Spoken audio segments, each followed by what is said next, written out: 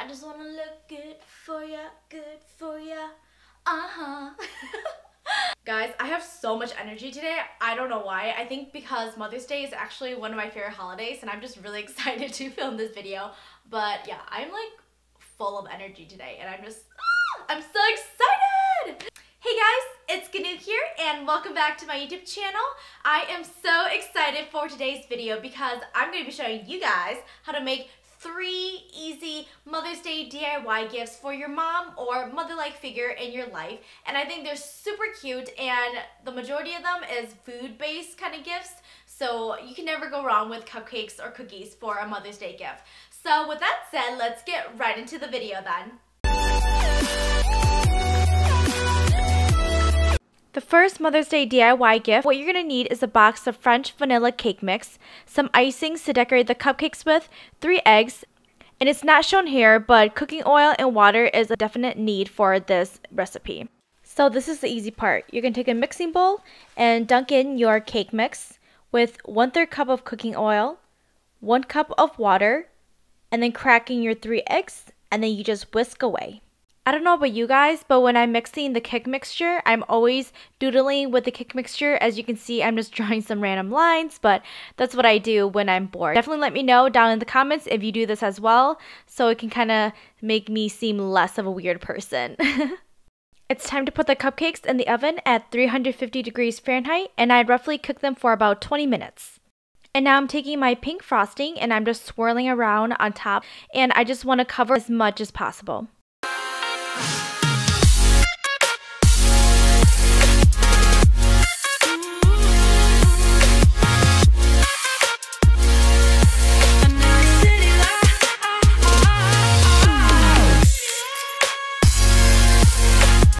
What I'm doing now is creating the stems with my green frosting and I'm just creating three stems for the bouquet and as you can see I went it over twice because I want to make the stems a little more thick. And now I'm adding a cute yellow bow to the bouquet of flower cupcakes. You don't have to do this but I just thought I add on some extra cuteness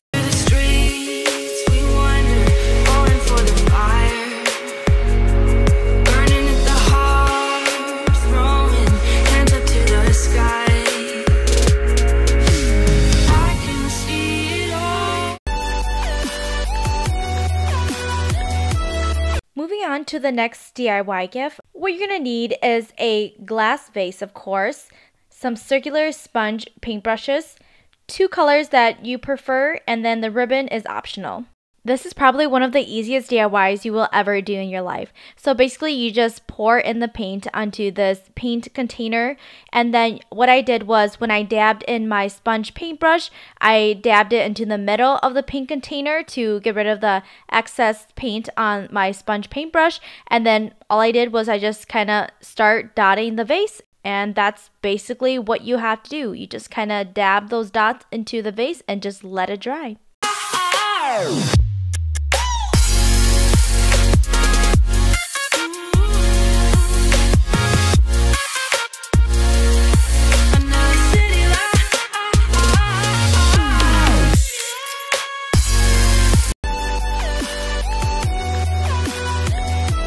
Last but surely not least, the last DIY I'm going to show you guys how to make are these delicious sugar cookies.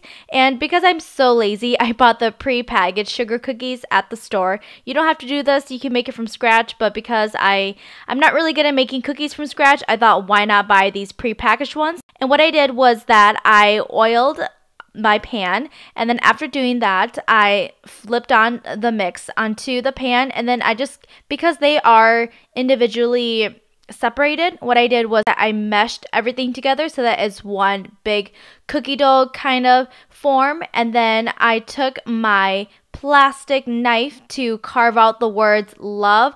I know I'm such a dork. I should have went to go buy the letters, but then I forgot to and I was already set up to film and I thought just why not be creative and just find something in my kitchen that I can carve out the word love with. And I found this plastic knife so I thought why not use it. So that's why I'm using a knife. So you don't have to use the word love. You can go with any other words that best represents your mom or mother-like figure in your life. For example, you can go with the word sweet, kind, anything like that. And then I cook the cookies for about 5 to 10 minutes at 350 degrees Fahrenheit. You just have to keep checking your cookies to make sure they're not burnt. And now I am putting the frosting on the cookies and I also sprinkled some sprinkles on the letters and I added some yellow polka dots with my yellow frosting to add a little cuteness to it. Of course, I had to Instagram my beautiful DIY project. Definitely follow me on Instagram. I will have my Instagram account on the screen as well as listed at the bottom of the video. Also, find this picture on my Instagram account and leave a comment below describing your mom or mother like figure in your life with one word and also don't forget to like the picture as well. I hope you guys enjoyed this video. If you did, give this video a big thumbs up. Also, give this video a big thumbs up if you are excited for Mother's Day like me. If you haven't done so, definitely click that subscribe button to be notified of my future videos. And my social media is linked down below, so make sure to follow me on Instagram, Snapchat, Twitter, anything like that that's all I have for you guys today. Thank you so much for watching my video, and I will see you guys next Sunday. Bye. Ouch. Oh, my legs. Ah. Okay.